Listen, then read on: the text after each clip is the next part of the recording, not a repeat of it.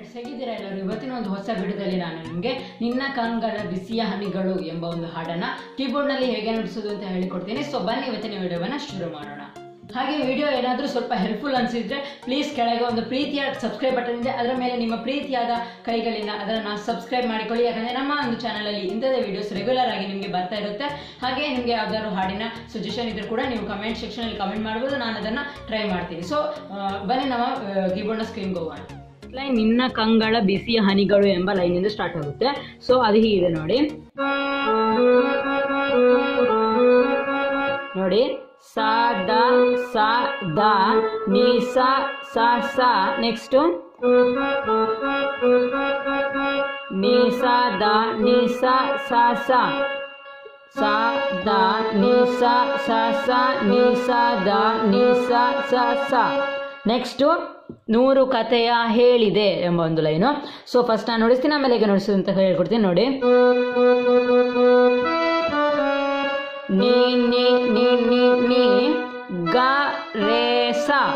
ನೀ ನೀ ನೀ ಗ, ರೇ, ಸ. ಇಲ್ಲಿ ನೀ ಕೋಮಲ್, ಗ ಕೋಮಲ್, ರೇ ಕೋಮಲ್, ಹಾಗೂ ಸ. So next line next line ನಿನ್ನ ಪ್ರೇಮದ ನುಡಿಯ ಕೇಳಿ ಎಂಬ ಲೈನು ಸೊ ಫಸ್ಟ್ ನಾನು ನುಡಿಸ್ತೀನಿ ನೋಡಿ.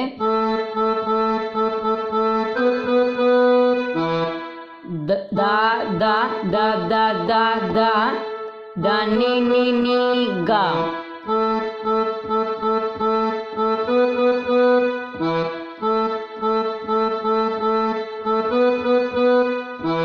ಸೊ ನೆಕ್ಸ್ಟ್ ಲೈನ್ ಬಂದು ನೂರು ನೂರು ನೆನಪು ಮೂಡಿದೆ ಎಂಬ ಲೈನು ನೋಡಿ, ಅದು ಹೀಗಿದೆ. ಪ ಪ ಪ ಪ ದ, ಪ ಸೊ ನೆಕ್ಸ್ಟು ಇನ್ನೊಮ್ಮೆ ನಿನ್ನ ಕಣ್ಗಳ ಬಿಸಿ ಹಾನಿಗಳಿಂದ ನಾನು ಇಲ್ಲಿ ತನಕ ನಿಮಗೆ ಹೇಳಿಕೊಟ್ಟಿರೋ ಎಲ್ಲ ಲೈನ್ಸನ್ನು ಇನ್ನೊಮ್ಮೆ ನೀವು ನುಡಿಸ್ಬೇಕಾಗುತ್ತೆ. ಸೊ ನೆಕ್ಸ್ಟು ನಮ್ಮ ಚರಣ ಸೆಕ್ಷನ್ಗೆ ಹೋಗೋಣ. ಸೊ ಚರಣ ಸೆಕ್ಷನ್ನ ಫಸ್ಟ್ ಲೈನ್ ಹೀಗೆ ಬರುತ್ತೆ ನೋಡಿ. ಸೊ ಫಸ್ಟ್ ಲೈನ್ ನಮ್ಮದು ತಂದೆಯಾಗಿ ತಾಯಿಯಾಗಿ ಎಂಬ ಲೈನು ಸೊ ಅದು ಹೀಗಿದೆ ನೋಡಿ.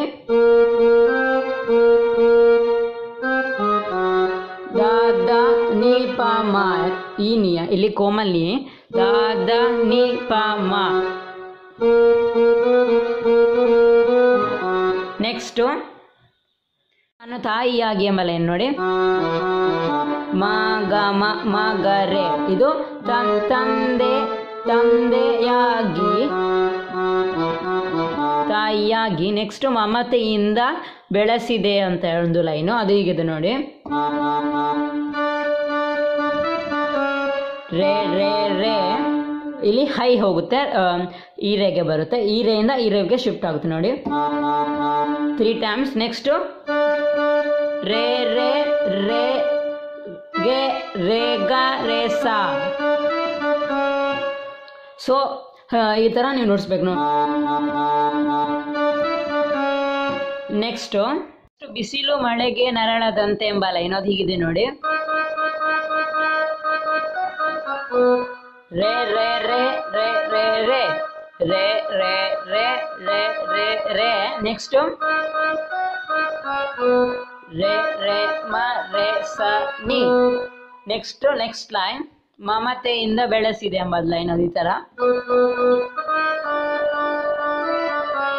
ನಿ ನಿ ನಿ ರೇ ರೇ ರೇ ಗ ರೇ ಸಾ ನೆಕ್ಸ್ಟ್ ಲೈನ್ ಆ ಪ್ರೀತಿಯ ಮನ ಮರೆಯುವುದು ಎಂಬ ಲೈನ್ ಅದು ಹೀಗಿದೆ ನೋಡಿ. ನೇ, ಸಾ, ನೇ, ರೇ, ಸ, ನಿ, ನೆಕ್ಸ್ಟ್. ದ, ಪ ಪ, ದ, ಪ, ಮ.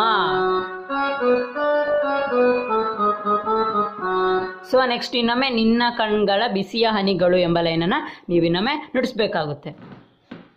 ಸೊ ಅಲ್ಲಿಗೆ ಒಂದು ಸಾಂಗ್ ಎಂಡ್ ಆಗುತ್ತೆ. ಈ ಒಂದು ಸಾಂಗ್ ತುಂಬ ಚೆನ್ನಾಗಿ ಮ್ಯೂಸ್ ಕಂಪೋಸ್ ಆಗಿದೆ ಅಂತ ಹೇಳ್ಬೋದು. ನೀವು ಚರಣ ಸೆಕ್ಷನ್ಗೆ ಬಂದರೆ ನಿಮಗೆ ಫಸ್ಟ್ ಲೈನಲ್ಲಿ ಅಷ್ಟೊಂದು ಕ್ಲೋಮಲ ಸ್ವರ ಯೂಸ್ ಆಗೋದಿಲ್ಲ. ಆ ಕೋಮಲ ಸ್ವರಗಳೆಲ್ಲ ಶುದ್ಧಕ್ಕೆ ಶಿಫ್ಟ್ ಆಗುತ್ತೆ ನನ್ನ ಒಪಿನಿಯನಲ್ಲಿ ಚಂದ ಈ ಒಂದು ಸಾಂಗಿಗೆ ಸ್ವಲ್ಪ ಚೆನ್ನಾಗಿರೋ ಲುಕ್ ಕೊಡುತ್ತೆ. ಹಾಗೆ ಇದು ಪುನೀತ್ ರಾಜ್ಕುಮಾರ್ ನಾನಿದನ್ನು ಪುನೀತ್ ರಾಜ್ಕುಮಾರ್ ಅವರು ಹಾಡಿದ ಒಂದು ವಿಡಿಯೋದಿಂದ ಇದನ್ನು ನೋಡಿ ನಿಮಗೆ ತಿಳಿಸಿದ್ದೀನಿ. ಈ ವಿಡಿಯೋ ನಿಮಗೆ ಹೇಗೆ ಅನಿಸುತ್ತೆ ನಮಗೆ ಕಮೆಂಟ್ ಸೆಕ್ಷನಲ್ಲಿ ಕೂಡ ಕಮೆಂಟ್ ನೀಡಿ. ಹಾಗೆ ನಿಮಗೆ ಈ ವಿಡಿಯೋ ಸ್ವಲ್ಪನೇ ತುಂಬಾ ಹೆಲ್ಪ್ಫುಲ್ ಅನಿಸಿದೆ. ಪ್ಲೀಸ್ ಈ ವಿಡಿಯೋ ಒಂದು ಲೈಕ್ ಕೊಡಿ. ಯಾಕಂದರೆ ತುಂಬ ಜನ ವಿಡಿಯೋ ನೋಡ್ತಿದ್ರೆ ಆದರೆ ಯಾರು ಲೈಕ್ ಕೊಡ್ತಿಲ್ಲ. ಹಾಗೆ ನಮ್ಮ ಚಾನಲನ್ನು ಕೂಡ ಸಬ್ಸ್ಕ್ರೈಬ್ ಮಾಡಿ. ಇನ್ನೊಂದು ವಿಡಿಯೋದಲ್ಲಿ ಮತ್ತೆ ಒಟ್ಟಿಗೆ ಸಿಗೋಣ.